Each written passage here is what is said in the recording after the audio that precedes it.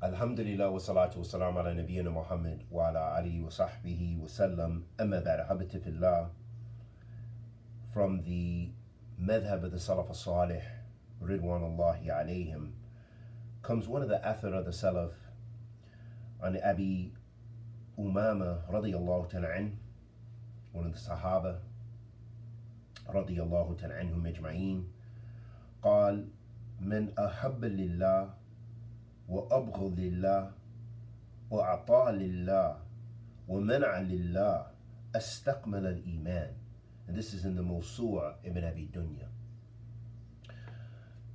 uh, Abi Umama radiyallahu ta'ala he said the one who loves for Allah loves for Allah's sake and they hate for the sake of Allah subhanahu wa ta'ala and they give for the sake of Allah and they withhold for the sake of Allah has completed his iman.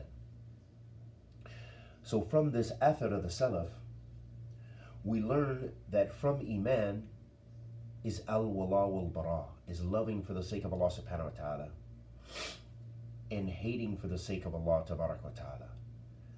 And that means loving that which Allah subhanahu wa ta'ala loves and those whom Allah ta'ala loves, and detesting that which Allah subhanahu wa ta'ala hates.